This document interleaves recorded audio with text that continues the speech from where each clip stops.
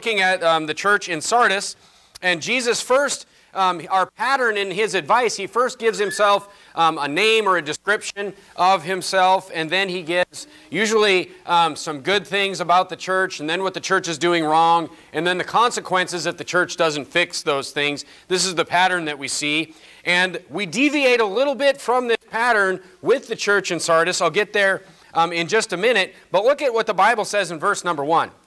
The Bible says, And the angel, and unto the angel of the church in Sardis write, These things saith he, here's the, here's the description of Jesus, saith he that hath the seven spirits of God and the seven stars. And I know thy works, that thou hast a name that thou livest, and thou art dead. So Jesus gives a description of himself as someone who has the seven stars. We've seen that from Revelation chapter 1 and verse number 20. We don't need to go back there, but the seven stars are the seven um, churches in Revelation chapter 1 and verse number, or the seven stars, I'm sorry, are the, the angels or the pastors or the leaders of the churches. So he's representing um, that. And then he says, and he also hath the seven spirits of God. So turn to Revelation chapter 1 and verse number 4. So Jesus here says he is the one that has the seven spirits of God. Now, this is a sermon in itself. I'm not going to um, get too deep into this, but let me just show you a couple of things. In Revelation, the seven spirits is brought up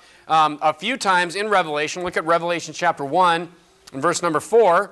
It says, John to the seven churches which are in Asia, grace be unto you, and grace be unto you, and peace from him which is and which was, that's Jesus, and which is to come, and from the seven spirits which are before his throne, saying that these seven spirits are before the throne of God. Turn to Revelation chapter 4 and look at verse number 5. If you haven't noticed so far, the number 7, by the way, is, is pretty important in the book of Revelation, in Bible prophecy. That is, um, you know, a, a, study in itself as well. So I'm not trying to, um, you know, derail the church at Sardis. I really want to get to that. But let's just look at these seven spirits. Look at Revelation chapter 4 and verse the throne proceeded, proceeded lightnings and thunderings and voices, and there were seven lamps of fire burning before the throne, which are the seven spirits of God. Now turn to Zechariah chapter 4. Turn to Zechariah chapter 4.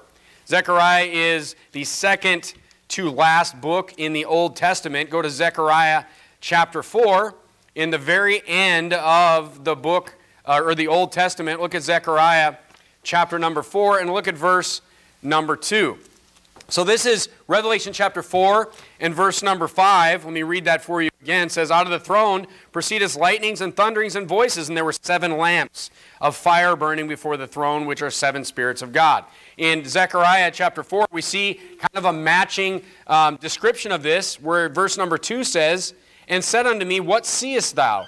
And I said, I have looked, and behold, a candlestick of gold with a bowl upon the top of it, and his seven lamps thereon, and seven pipes to the seven lamps which are upon the top thereof. So we see, you know, this, this idea of these seven spirits of God. Um, they represent um, things that are before the throne in heaven. Turn to Revelation chapter 5 and look at verse number 6. We see the seven spirits of God again.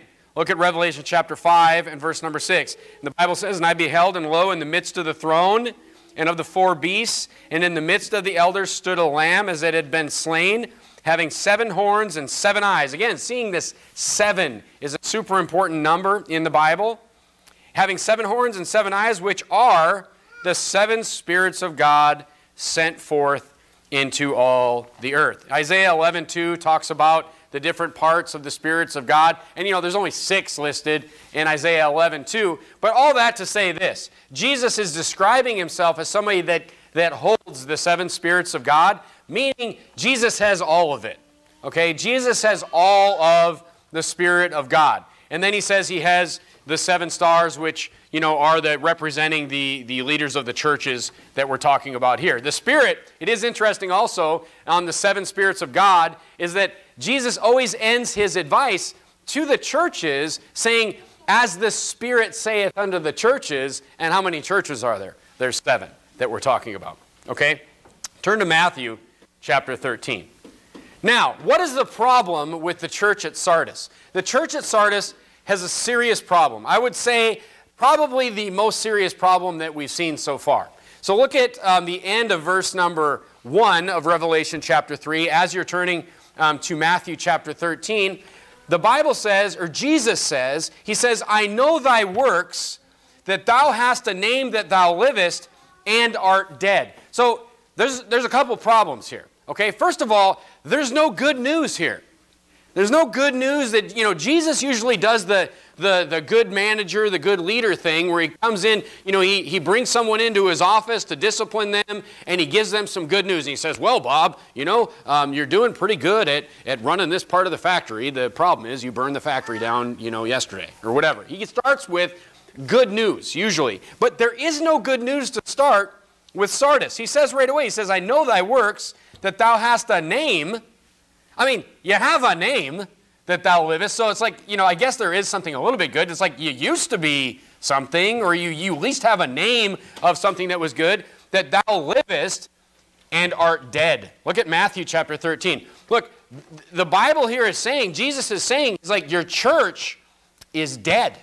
Your church is filled, he's like, your church is filled with people that aren't even saved, is what he's saying to the church at Sardis. Look at Matthew chapter 13 and look at verse 24. Now, look, the Bible tells us that there is going to be a mix of people that are saved and unsaved. You know, we heard a good sermon on this on uh, Friday night from the men's preaching night, but look at Matthew chapter 13 and verse 24. And he says, Another parable put he forth unto them, saying, The kingdom of heaven is likened unto a man which sowed good seed in his field. But while the man slept, his enemy came and sowed tares among the wheat and went his way. But when the blade was sprung up and brought forth fruit, then appeared the tares also. The tares meaning weeds. So the servants of the householder came and said unto him, Sir, didst thou not sow good seed in thy field? From whence then hath it tares? And he said unto them, An enemy hath done this. The servant saith unto him, Wilt thou then that we go and gather them up? But he said, Nay, lest ye gather up the tares, and ye root up also the wheat with them. Let both grow together until the harvest. And in the time of harvest, I will say to the reapers, Gather ye together first the tares, bind them into bundles and burn them, but gather the wheat into my barn. This is an analogy giving us an example of how the world is filled with saved and unsaved people mingled together. Okay, and we know if you're a soul winner, you know that the ratio of weeds to wheat or tares to wheat is overwhelming. It is overwhelming. There are few that be saved.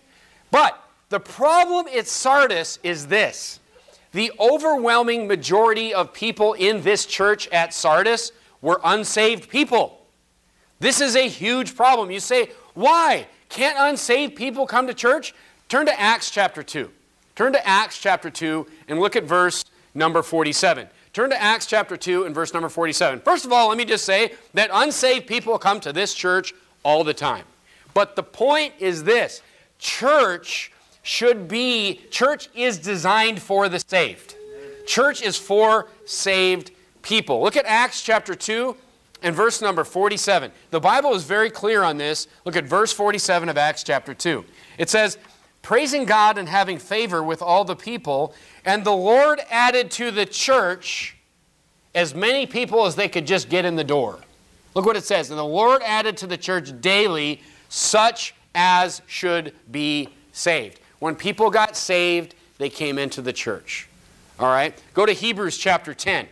Go to Hebrews chapter 10. Hebrews chapter 10 and verse number 25. Again, very famous verse, a very um, great verse talking about, you know, just coming to church, the reason for being in church, God's command that we're to be in church. Look at verse 25 of Hebrews 10. Not forsaking the assembling of ourselves together. Who is Paul talking to here? He's talking to the Hebrews. He's talking to saved people. He's talking to saved people here. He's saying, For as a manner of some is, but exhorting one another, and so much the more as ye see the day approaching. He's talking to, this is a letter to saved Hebrews here. You know, the, the Israelites that believed on Jesus. Of course, it applies to everybody, but the point is, is that church is for the saved. Church is for saved people. That doesn't mean people aren't going to come here and not be saved. But it is, you know, you know, the, the reason that the first thing that we do when a visitor comes that's not saved or that we've not met, look, the first thing we do is give them the gospel. The first thing that we do is ask them if they want to hear the gospel. The rest will work itself out if they don't believe. I mean, look, here's the thing. You say, well, what if, what if somebody comes to church and they're a visitor and they're not saved and they don't want to hear the gospel? You're like, well, we don't have to worry about that because basically the Bible is preached here day in, day out. And if somebody doesn't believe the Bible, that, that problem's just going to solve itself. You know, those, those people are just going to, they're not going to like it here. You know, unless you believe the Bible, you're just not going to like it here. Some people that believe the Bible don't like it. So the point is, you just can't grow a church in any means necessary. Just bring everybody in no matter what, or you're going to end up with a church like the church at Sardis, with a church of, of people that don't even believe the Bible. They're not even saved. That's what Jesus is talking about. This is why, this is why, you know, this is one of the problems, and we'll talk about a lot of different doctrines tonight, but this is one of the problems with like the repent of your sins doctrine, you know, or, or threatening, you know, saved people with their salvation. You know, you'll hear of pastors that have done this. I've heard pastors do this. Look, the reason that they do it is to try to control saved people in their church. You know, they sit here and they'll threaten people and they say, look, if you don't, if you're still sinning and you're still doing these things, like, are you even saved? You know, you need to turn from your sins to be saved. And the, the point is, is that, you know, I get why pastors do that, but it's wrong if pastors do that. They use people's salvation to try to control people. Turn to Philippians chapter 2. Philippians chapter 2. Because look, the thing is, these problems are going to work themselves out. There's no, you can't, look, if, a, if somebody gets up here, a guest preacher, whatever, and gets up here and starts preaching things like, look, it'll never happen. But if they'd get up here and they would start preaching things like, if you're still sinning, you know, I doubt that you're even saved, or things like this, right? If somebody would get up here and start preaching like that, that's, that doesn't change your salvation. That doesn't change whether or not you are saved or not. Because, like, a pastor, a preacher just doesn't have that control over you. They don't have the control over your salvation. But these types of things, what they will do is if, if there's that type of preaching in a church, the new people that come in, that hear that preaching, that aren't saved in the first place, they're not going to get saved. You see the problem? You see the problem with that type of, of, of twisting of doctrine is it's literally a false gospel, and that may not get you to be unsaved, but it's going to stop others from getting saved. And that's how you end up over time with a church of people that aren't even saved. Amen. All right? Now look, here's the thing. I don't know if I've ever told you all this before. Turn to Philippians chapter 2. Have you turned there? Philippians chapter 2, look at verse number 12. Here's the thing. I don't know if I've ever told you this before. I mean, repent of your sins to be saved is false. That's a false gospel. But here's the thing I want you to repent of your sins. I want you, as your pastor, to change your mind about your sin. You say, why? Not so you can stay saved, not so I can threaten you and say you're not even going to be saved. But here's the thing look at Philippians chapter 2 and verse number 12.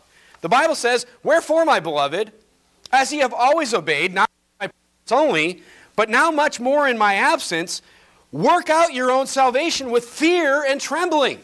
Here he's saying, look, folks, he's not talking about, people will use this and misunderstand this as like doing works to be saved or stay saved or something. He's saying, work out, first of all, it's your salvation.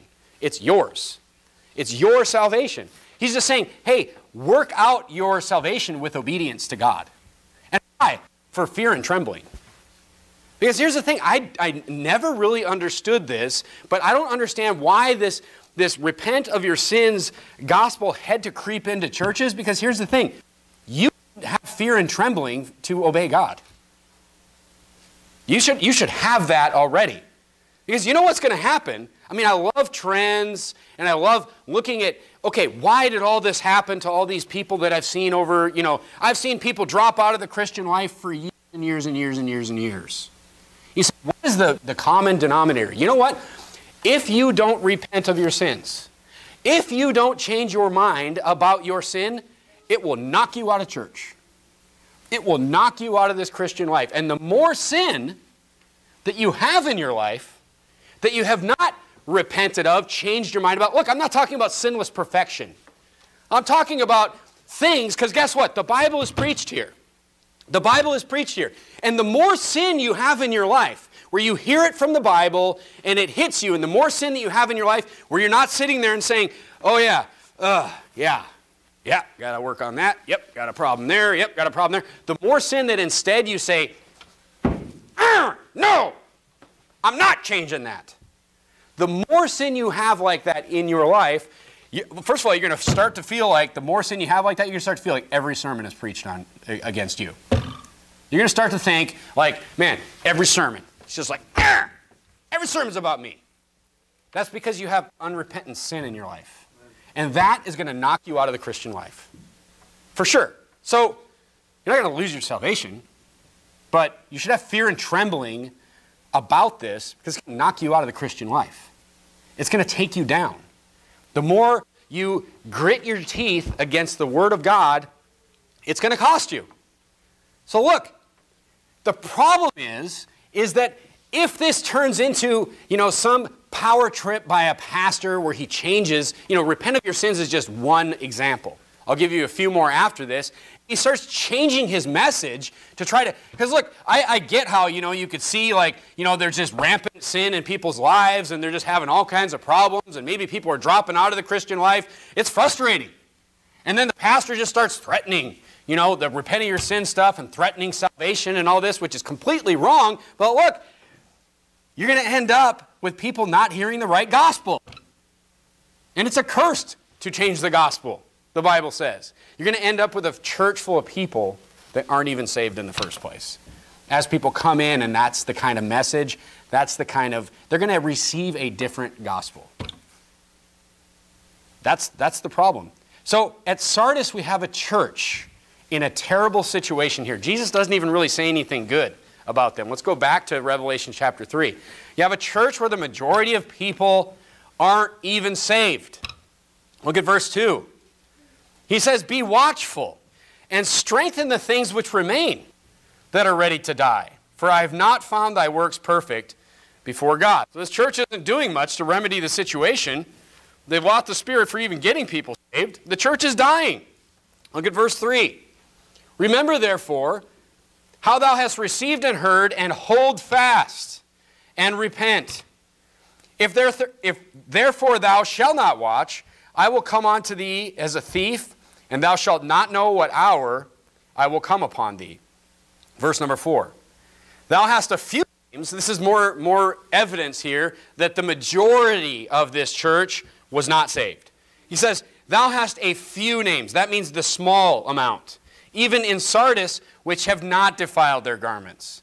And they shall walk with me in white, for they are worthy. So there's more evidence right there that most people weren't saved here, because there was a few that were saved. Turn to Ephesians chapter 4. And they were doing like this, this worthy, them being worthy, it just means that they were doing what they were supposed to be doing. But it was just a few of them. Look at Ephesians chapter 4 and verse number 1. Ephesians chapter 4 and verse number 1. You go there, I'll read for you Colossians 1:10. That ye might walk worthily, worthy of the Lord unto all pleasing, being fruitful in every good work and increasing the knowledge of God. So being worthy is a saved person. They're saved and they're doing what they're supposed to be doing. Ephesians chapter 4 and verse 1, we see this as well. I therefore, the prisoner of the Lord, beseech you that ye walk worthy of the vocation wherewith you are, ye are called so he's saying he's trying to get these saved people in these cases in Ephesians chapter 4 verse 1 and Colossians chapter 1 and verse 10. He's saying, "Hey, if you're saved, do what you're supposed to be doing and bear fruit. Be fruitful." So in Sardis, this was just a few that was doing this. Most people weren't even saved. Go back to Revelation chapter 3. Revelation chapter 3. And look at verse number 5. Look at verse number 5 of Revelation chapter 3. Now we know what this word overcometh means. We looked at that with the church at Ephesus. He that overcometh, the same shall be clothed in white raiment. Now that makes perfect sense, right? Because we know that overcometh means to be saved. Overcometh, he that overcometh is he that, you could read this like this, he that is saved is the same thing. Shall be clothed in white raiment.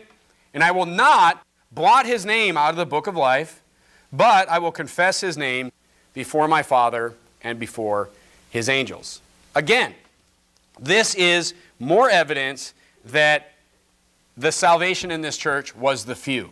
Now, he mentions here uh, the book of life. So let's look at the book of life here because a lot of people misunderstand Revelation chapter 3 and verse number 5 because they misunderstand the book of life. The book of life actually and being blotted out of the book of life, everyone's like, see, you could lose your salvation. Well, no, because no one ever gets added to the book of life.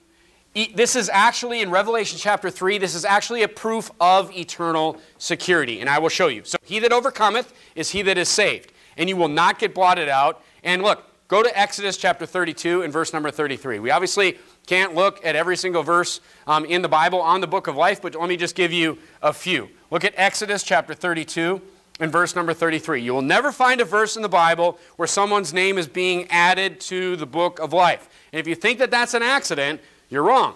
That is not an accident because no one's name is ever added to the book of life. Look at Exodus 32 and verse 33. And the Lord said unto Moses, Whosoever hath sinned against me, him will I blot out of my book. Here are people that are being blotted out of the book of life. Turn to Psalm 69. Psalm 69. I'm going to read for you Daniel chapter 12. You turn to Psalm 69, and I'm going to read for you Daniel chapter 12.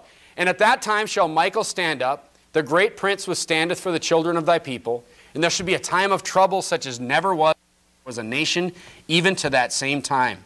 And at that time thy people shall be delivered, everyone that shall be found written in the book. All right? Look at Psalm 69 and verse 28. So, being written in the book means you're saved. If you're blotted out, that means you're not saved. Look at Psalm 69 verse 28. But we're trying to prove here that no one's ever added to the book, and then I'll explain to you that significance here in a minute. Look at verse 28. Let them be blotted out of the book of the living and not be written with the righteous. Go back to Revelation chapter 3. Actually, turn to uh, Revelation 22. Revelation chapter 22. The point I'm trying to get you to understand is people are, when you die and you're not saved, at the very last point, most people, the way it will work is when they physically die and they're not saved, their name is blotted out of the book of life. That's how it works. However, sometimes it can happen before you die, before you physically die. A lot of people are confused by this, but look at, um, look at Revelation chapter 17. Go to Revelation chapter 17. Revelation chapter 17, look at verse number 8. Revelation 17 and verse number 8. You say, how, how could no one ever be added to the book of life? How could, you know, only names be removed? Well, the only way that makes sense is, you know, Revelation chapter 17 and verse number 8 answers that for us. The Bible says, The beast that thou sawest was and is not, and shall ascend out of the bottomless pit and go into perdition, and they that dwell on the earth shall wonder whose names were not written in the book of life. So you got to read this sentence correctly here. It says, whose names were not written in the book of life. And the book of life is described as, as the book that was from the foundation of the world. Okay, so the book of life was written at the foundation of the world. And names are only removed from the book of life. Using this logic, you have to conclude that all names were in the book of life at the beginning. So at the foundation, look, were we here at the foundation of the world? Were we here? Were people that lived here 100 years ago, 200 years ago, 1,000 years ago, 2,000 years ago? Were the billions of people that have lived, you know, for 6,000 plus years, were they even alive at the time that the book of life was written at the foundation of the world? They weren't, but their names were in it. Every person that will ever exist started out in the book of life, and you will only find people being removed from the book of life. Now go to Revelation chapter 22 and verse number 19. The Bible gives us several examples of people. So we know that when you die, and I'll prove this to you from the Bible, we know that when you die, at, at least at that point, and you're not saved, then, you know, that's your last chance, that's it. The Bible's clear about that, and I'll show you that in a few minutes. But it's also possible for people to have their names removed before they're even physically dead on this earth. Look at Revelation chapter 22 and look at verse number 19. Revelation chapter 22, almost the end of the Bible. The very end of the Bible ends like this If any man shall take away from the words of the book of this prophecy, God shall take his part out of the book of life and out of the holy city and from the things which are written in this book. God here is saying is if any man if any man changes the word of God, if any man takes anything away from how would you like to have been on the teams that changed these Bible versions? How would you like to have been on the teams that removed these verses from the Bible? The Bible says that people that do that, their names are taken out of the book of life. They're done. They're done. They weren't saved and they're never going to get saved, is what the Bible. Jude chapter 1. Go to Jude chapter 1, right before the book of Revelation. Jude chapter 1. Jude Jude 1, you know, the only chapter in Jude, right before the book of Revelation, look at Jude and verse number 12. Jude in verse number 12, Jude 1:12. These are the spots in your feasts of charity when they feast with you, feeding themselves without fear. Clouds they are without water, carried, of, carried about of winds, trees whose fruit withereth, without fruit, twice dead, plucked up by the roots. Look, if you're alive if you're alive and you know your your your name is removed out of the book of life, the Bible says that at that point you're twice dead. You know, you've basically you've basically had that death happen to you already, even before you physically died. Okay? Now go to Revelation chapter 20 and look at verse number 12. So now that we see this, we see that all names began in the book of life. And look, every single time, this is the only way, this is the only way you can think of the book of life. And every single time you see the book of life, and don't get into all these, there's all these weird doctrines on how the Lamb's book of life is different, and there's all these different books of life. No, there's one book of life. The book of the living, the book of life, the Lamb's book of life, it's all the same book. It's the book of life. Amen. And when you read these verses anywhere in the Bible, as long as you remember that no one has ever added, everyone started in there, no one needs to be added because everyone was in there. People are only removed. And they're removed sometimes. This is Romans chapter 1. When God gave them up, God gave them over. People turned on the Lord, they hated the Lord, God gave them up, their names were removed from the book of life. Those are people that the Bible would call reprobate people. They're, they're living, but they're twice dead. Look at Revelation chapter 20. Revelation chapter 20 and verse number 12. Look at verse number 12. So now this, the great white throne judgment makes perfect sense now. All right? People at the great white throne judgment, people are brought out of hell after the millennial reign. And the Bible says, And I saw a great white throne in verse 11. And him that sat on it from face the earth and heaven fled away, for there was found no place for them. And I saw the dead small and great, stand before God. And the books were opened. Okay, we got some books here.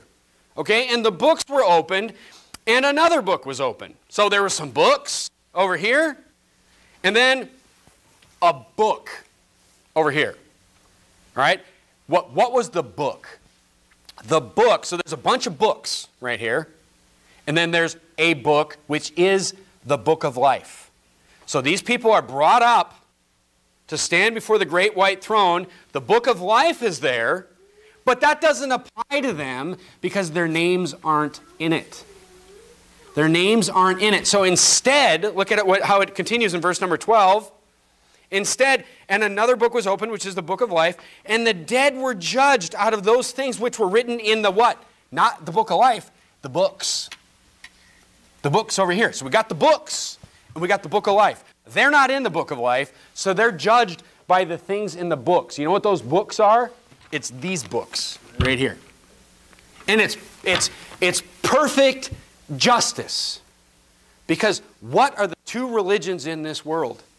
The two religions in this world, you say there's a thousand religions in the world. No, there's two. There's two. There's people that believe that their own works are going to get them to heaven.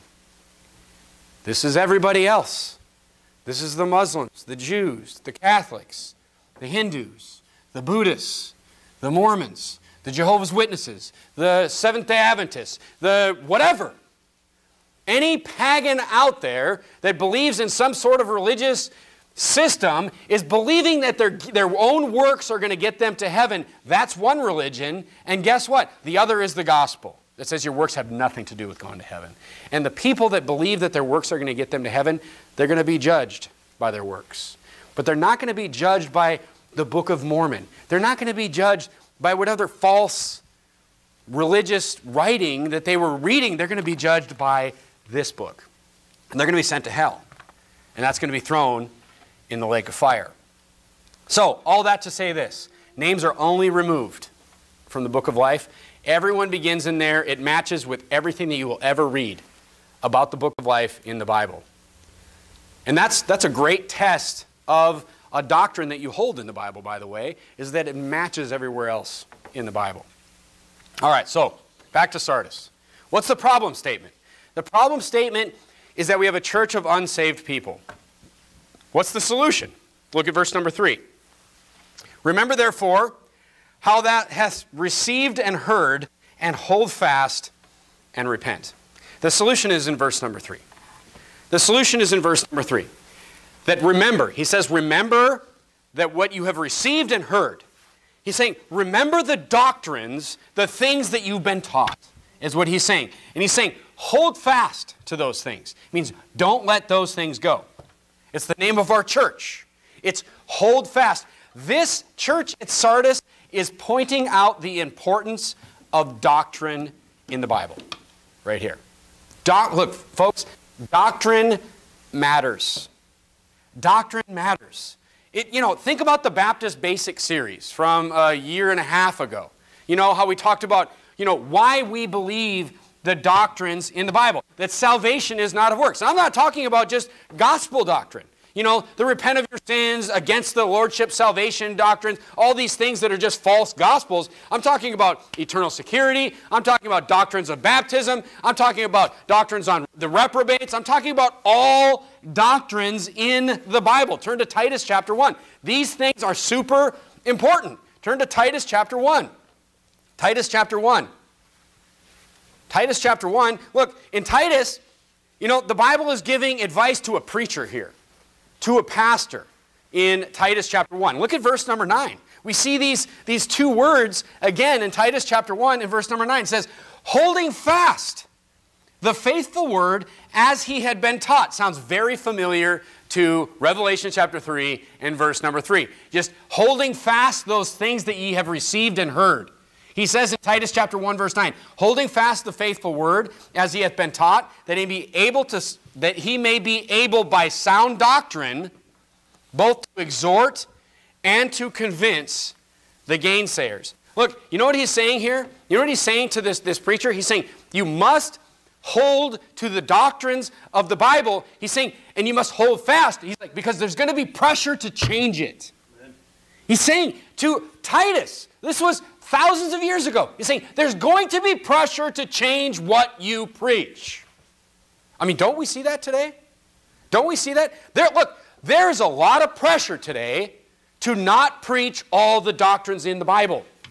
There's a lot. It's like I said this morning. Is there free speech somewhere?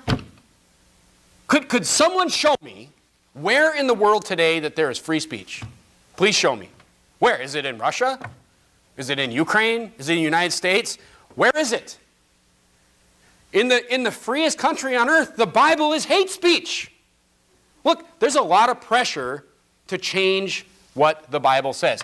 Unpopular opinions today are shut down on social media, shut down by big corporations. They want a softer message, they want a more politically correct message. Look, the Bible here is saying in Revelation chapter 3 the advice to stop, the advice to Sardis to stop the major problem of having filled with unsaved people is preach the Bible.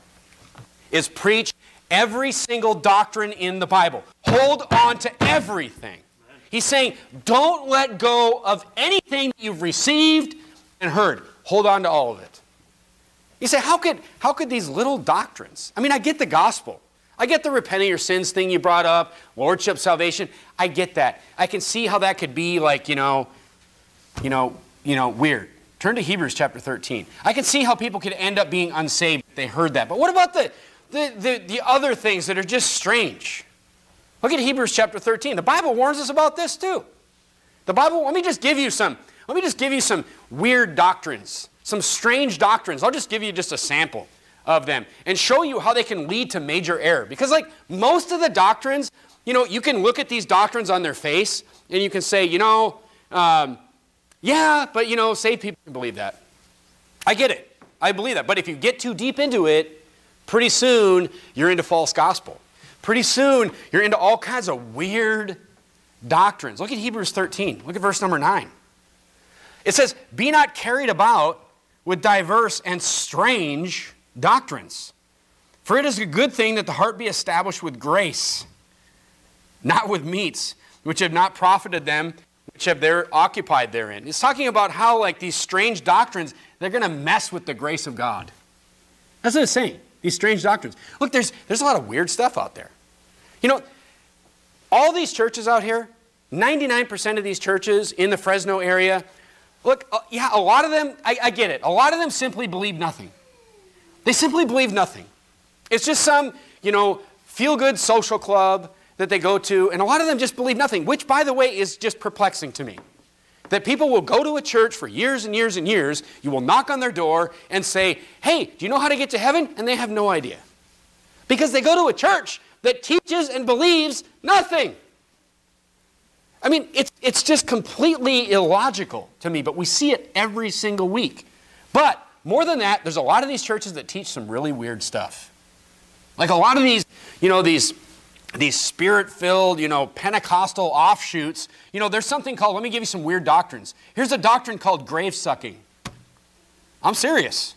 Also known as grave soaking or mantle grabbing. It's the act of lying across the physical grave of a deceased preacher or evangelist for the purpose of pulling out the power of the Holy Spirit that was trapped or locked inside him when he died. This happens today.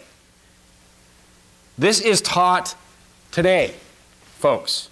Look, if any of you lay across my grave when I'm dead and try to suck the Holy Spirit from my body, I'm going to beg Jesus to let me come down and shoot you with a Nerf gun. I don't know. But, you know, it's just crazy stuff. How about this stuff? How about the prosperity gospel? How about that?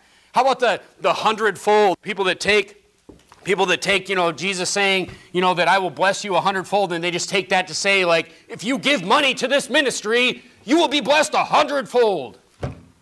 Look, it's, it's weird.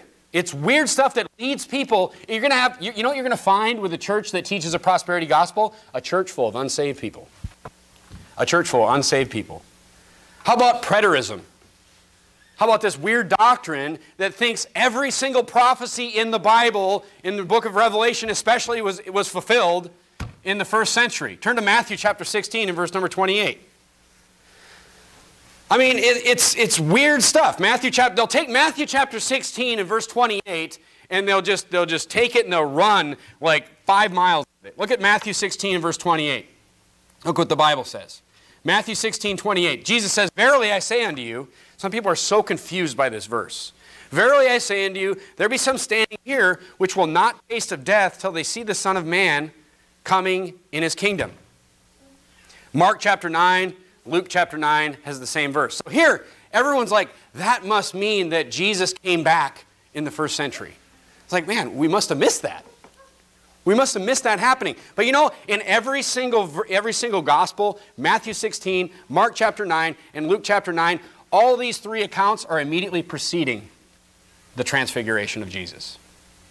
Where Jesus actually, show, the very next thing that happens is he takes, you know, Peter, James, and John up to the mountain and he shows them his glorified state. That is this happening. That is the, the um, fulfillment of what he said in Matthew 16, 28. How about the pre trib rapture? Turn to Matthew chapter 24.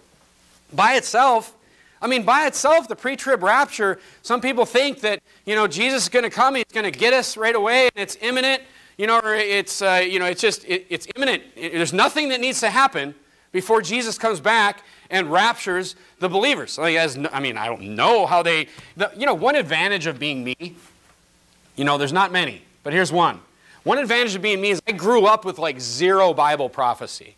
Like the Lutheran church didn't teach anything about Bible prophecy. So when I got saved and I started reading the Bible, it, I mean, the pre trib rapture makes no sense at all, according to anything that is written in the Bible. You have to get deep into commentaries to get the pre trib rapture. Look at Matthew chapter 24 and verse number 29. But look, by itself, I mean, like, whatever, no big deal.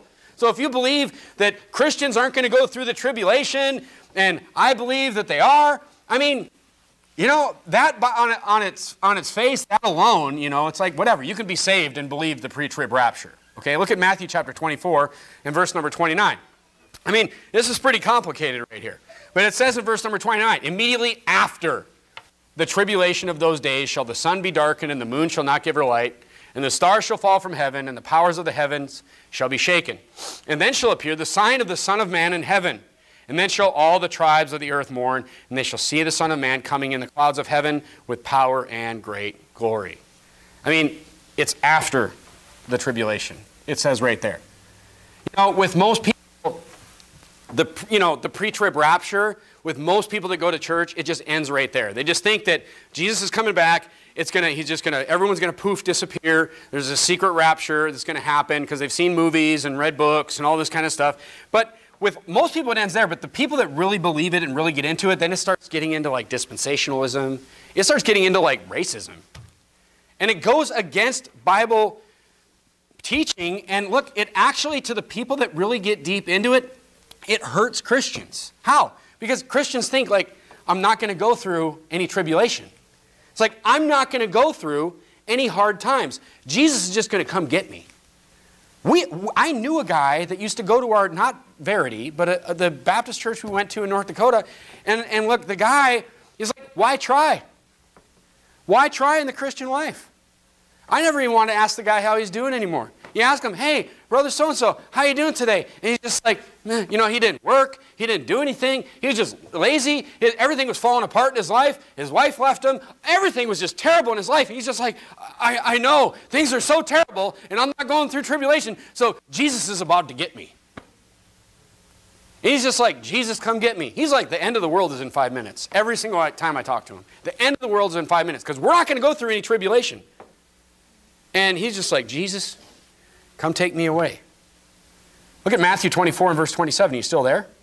You know, they believe in this secret rapture that Jesus is going to just, everyone's just going to disappear. No one's going to even notice that it happened. Look at what the Bible says in verse 27. First, the lightning cometh out of the east and shineth unto the west. So shall also be the coming of the Son of Man. No one's going to miss that. It's like lightning. It's saying it's going to be like lightning all across from the east to the west. It's not secret. But here's, here's some problems with it. Here's where it gets really bad. When we start getting into all this, like the Jews are going to get special treatment. And dispensationalism, meaning that, that, that certain people got saved at different, you know, different ways at different times. There's no end to this type of thing. And the Jews, here's, here's the really bad one. The Jews get saved differently or that they get a second chance. Isn't that dangerous to unsaved people? Isn't that dangerous to people who are not saved to be like, hey, you know what? You may get a second chance. You know, to have people think these, these wicked preachers that get up there and preach that the Jews can get, you know, they don't have to believe in Jesus, or they're going to have a second chance, you know, in the millennium or after the millennium. Every, look, everyone gets, turn to Isaiah chapter 38. Everyone gets one life on this earth. And when it's done, that's your chance. That's what the Bible teaches. Look at Isaiah chapter 38 and verse 18. So these things start out like no big deal. You know, it's not a big deal. And look, if somebody came to this church and they were just, you know, pre trib and that's the way they were, I mean, look, that's not, you know, it's not a huge thing, but it leads to bad things. It leads to bad things. You start getting a church of people that are leading down this road, you're going to end up with a church of people who aren't even saved. Just like the church at Sardis. Look at Isaiah 38 and verse 18. Look, you don't get a second chance. Look at Isaiah 38 and verse 18. For the grave cannot praise thee, death cannot celebrate thee. They that go down into the pit cannot hope for thy truth. When you're dead, there's no more hope. Hopefully, you're saved when you physically die and you will, you know, you have eternal life and you're not going to get the second death. These are just a few examples, folks, of doctrines that can lead down weird lines. I mean, Calvinism is another one. What, what's the problem with Calvinism? What's the problem if I'm saved? I mean, is there really a problem? I mean, other than it's kind of arrogant.